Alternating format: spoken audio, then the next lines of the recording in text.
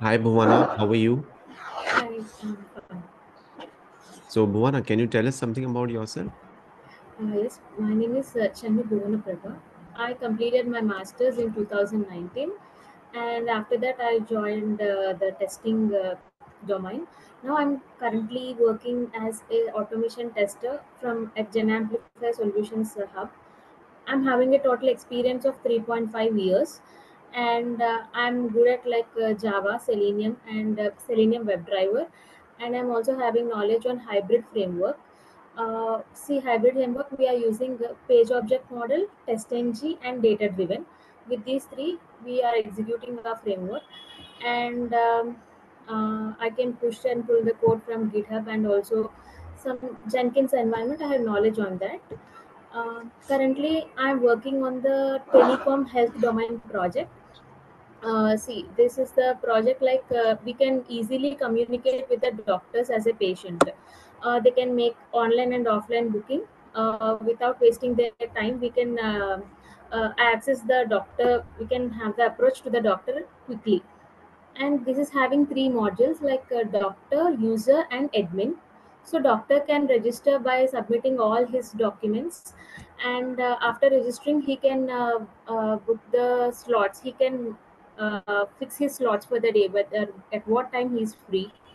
Uh, he has to do that things and he has to maintain a prescription of his one. And also as a user i'll log in and uh, i'll maintain some medical history basic medical history. And based on the consultation that i wanted to approach i can uh, select the doctor uh, uh, as of the uh, part. And admin is having all the access like permissions and everything uh, will be given by admin admin can view the number of doctors number of uh, users and the revenue generated and everything and based on that uh, he can make some decisions on that uh, application Correct, correct. Okay, great. So, basically, it's an healthcare domain, right? yes In which you are working. Wonderful. Okay. So, you were telling that you have got command on Java. Java is the programming language that you are using for test automation purpose. Yes Hmm. Okay. So, why do we need a constructor in Java? uh, constructor is generally to initialize the values. For example, uh, in the I'll use in the base class, I'll put some uh, WebDriver. There I will be initializing that, and using the constructor everywhere, I can um use that WebDriver without uh, defining uh, every time. Right. So constructor is used to initialize the object, maybe with the default or with the initial state, right? So that is one of the reason, right? And the different types of constructors we can use parameterized constructor, we can pass the parameters, we can use default constructor as well. That is also possible. Okay. What is aggregation in Java? Aggregation. Hmm. You know about inheritance? Ah, yes, I know inheritance. Okay. Similarly, you have aggregation as well.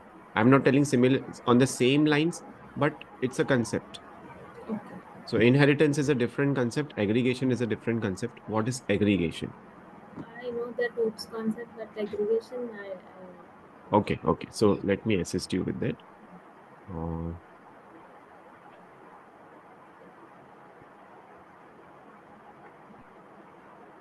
mm, is the screen visible to you?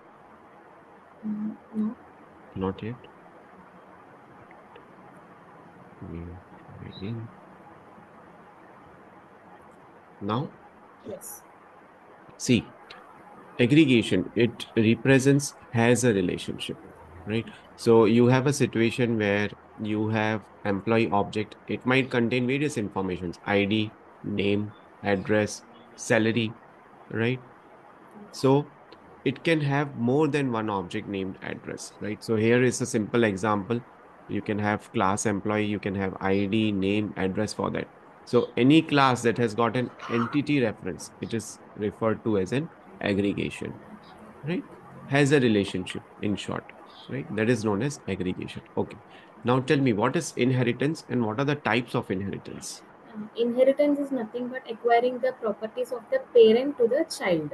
So Hmm. inheritance can be achieved. Uh, uh, so sorry, inheritance like a single level inheritance, Hmm. uh, uh, multi level inheritance, uh, multiple inheritance, and one more thing uh, in single and chain type single level inheritance like we have only one parent and one child chain is having like uh, first uh, a and that i extend that a into b. Again i'm having c i'm extending the b into the c.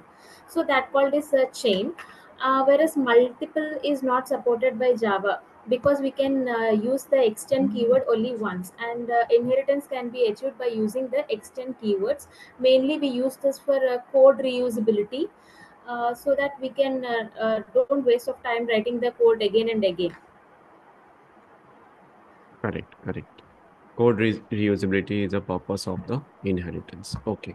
Now, uh, what do you know about arrays in Java? okay array is like uh, the where we can store the more than one object of same data type homogeneous data type instead of declaring the uh, the data types in single different different lines of if we are having the same data type we can store them in the single place it is called array collection of uh, objects Correct. and uh, so we can use for manipulating the data insertion sorting and indexing we will be indexing will be there in arrays uh, so if we wanted to uh, loop into the array we can use for loop and uh, yes this is the use of arrays Right, right. Now, see, let me share the screen. This is your original array, 52871, for example. Now you have to sort this array in an ascending order, one, two, five, seven, eight, right? So can you write the Java program for the same? yes but actually we have some method like arrays dot sort Yes, yes. So that is use that direct method. That is Ah. a good thing you can use. In an interviews, they'll ask Yes. you to, yeah. So that uh, firstly we will be storing one variable like uh, uh, first uh, one variable in the a of 0 and after that i will be comparing that each and every element with that array and i'm storing that if the array is less oh. than this number i'll be storing in the array Yeah, sorry to interrupt. Can you can you write the Java program? Can you share your screen and write the program? You can be comfortable with Notepad, Notepad plus plus, IDE, whichever thing. can i use my eclipse Whatever, whatever thing. Yeah. So open Eclipse. You don't have to uh, screen share your company's framework. You can use your own uh, framework itself. Yeah. Just I- write one simple Java program. okay Yeah. i am sharing my screen Yeah, yeah. You need to click on share screen, green color button. i shared is it visible for you Uh, no, no, not yet. okay this one. Hmm? Is it visible now Uh, yeah, yeah. The Zoom screen is visible. now uh, Yes, yes, visible. Yes. So you have to write a Java program to sort the arrays in an ascending order.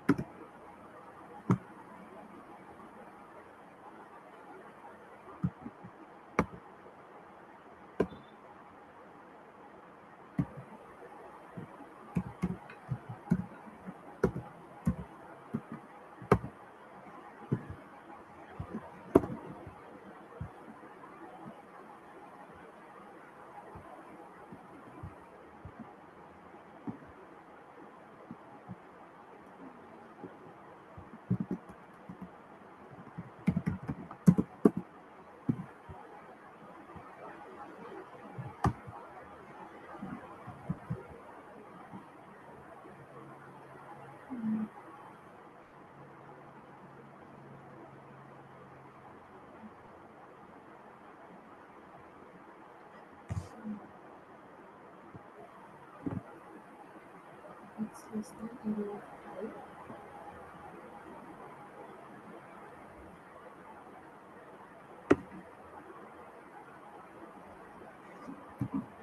Hello.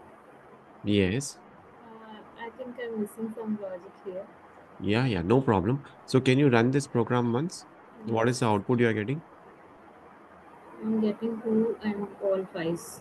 Two, five, five, five. Okay, uh, it's uh, getting five, but ascending order, then it should start with one, One. two, three, four, Yes. five. Mhm. No problem. See, I'll show you the solution for this. Uh, your screen sharing will be stopped. See, this is the algorithm. First, let me tell you the algorithm. And this is one of the approach. See, this is not something uh, in Java you can have only one approach. You can have multiple approaches for the Java. Initialize array. So you'll initialize that you did. Then you will be printing, and we are taking one of the third variable here, right? Then the for loop. I think you have also went for the mm. for loop, and you have also applied the for loop, and we are taking the length of the array. Yes. Then we will print that array. Now we will repeat eight step and nine step, right? For this within this for loop itself, right? So we are having two for loops. One is your outer loop, one is your inner loop. Okay. And then we are printing it. Now let me show you the program as well. See, initialization of the array, taking new variable. Now displaying elements of the original array. So this is a normal program in which you will be displaying your array. Now we want to sort it in the ascending order. So we will be using two for loops. As I told you, this is your outer for loop, the normal for loop. It is same as this one. Okay, there is nothing to worry about, same as this one. And this is your inner for loop in which you are dealing with the J condition. Yes. So this is with I, this is with J. Now if condition, if I ARR array of I is greater than array of J, then accordingly we'll take the sorting. If it is not, then we will keep it as is and then we will print. right? So that's how you can print the arrays. You can you can print the arrays in the sorting order in the ascending order. Okay. Now you can share your screen. I want you to write any simple code which can explain encapsulation. OOPS concept encapsulation. So inheritance we saw that was a theoretical thing. Encapsulation using the code concept. encapsulation. Yes, encapsulation. Actually, I, I never used in my work, but I'll try. Yeah, yeah. If you haven't used encapsulation and if you have used abstraction, you can try that. Abstraction, I yes, I used. Yeah. So abstraction you can try. And take your time to think. No problem with it. We have sufficient time.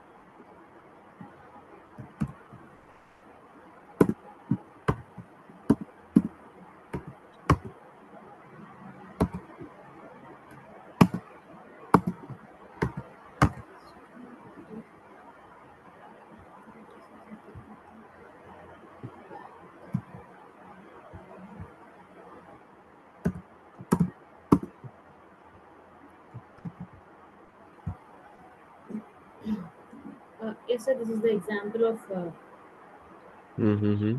abstraction. Abstract. Uh, actually, uh, through abstraction, we cannot achieve 100% abstraction. Mm-hmm. Uh, there will be some concrete methods also.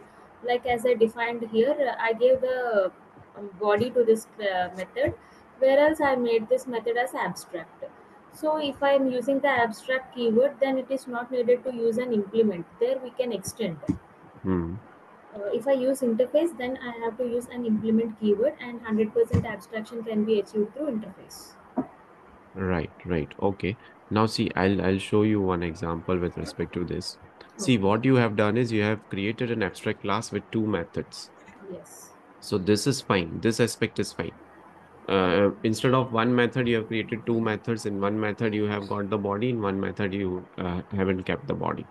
Now you have to showcase another class which extends your this class. And in that, you have to define the body of the one of the method which was abstract in your abstract class. And then the normal main method, right? As is. Right? So that's how you can define. Okay, now uh, is it possible that abstract class can have final methods or not? Yes, if we no final method means uh, it will be changing like body will be changing in the abstract class method. Hmm, hmm. Uh, so it will be the uh, responsibility of the class that it is going to extend. It should implement the class like method whatever it, that suits for that class. So I'm extending in one class and I'm giving one method, and I can extend in another class and I can change the body. Okay, but can it have final methods? Uh, yes, if I give final keyword, it can be. But in uh, interface, we ca- it uh, by default they are final and uh, static. Correct, correct. Okay, now can your abstract class have constructors and static methods as well? Uh, abstract, uh, you're saying like abstract class. Yes, yes. Abstract class, can it Mm. have constructors and static methods? Yeah, if I give constructor, then I can use uh, super constructor. Like uh, when I extend this into yes, they can have. Right, right. It can have, right? So these are simple rules for the abstract class. An abstract class must be declared by an abstract keyword that you know. It can have abstract as well as non-abstract methods. It cannot be instantiated. It can have final methods. It can have constructors and static methods also, right? Simple, straightforward rules for the abstract class. Great. Okay. What do you know about collections in Java? Uh, yes. Uh, the uh, like uh, overcome the disadvantage in the array we can overcome from collections where Mhm. uh, they are dynamic we don't need to specify the size they can uh, like they're flexible if we wanted to add something in future and we can add them so collection is the group of objects Mm, uh, which can be like either homogeneous or heterogeneous. If i'm specifying the heterogeneous data type i can specify like as object. Object Mm. is the parent uh, data type. It can hold any data types. Correct, correct. um, so it is a and uh, we can do many operations uh, using the collections. Uh, like array list. Mostly we use array list and set in the selenium. Mm, uh, through that uh, we can uh, access the list of all the list and we can select them and the drop downs we can use the list and set when uh, window handles we can use set okay, fine. List, does list allow duplicate elements? yes list allows duplicate elements Mhm. uh, Can we the- store null elements in the list? yes we can store Okay, okay, great. So list and set is fine. List allows duplicate elements. Set does not allow duplicate elements. insertion order is preserved in the list in uh, array list whereas uh, insertion is not preserved in the set Correct, correct. Okay, then list implementations are array list you can have. You can have linked list. Set implementations you have hash, has set have linked hash set. Those things you can have. Great.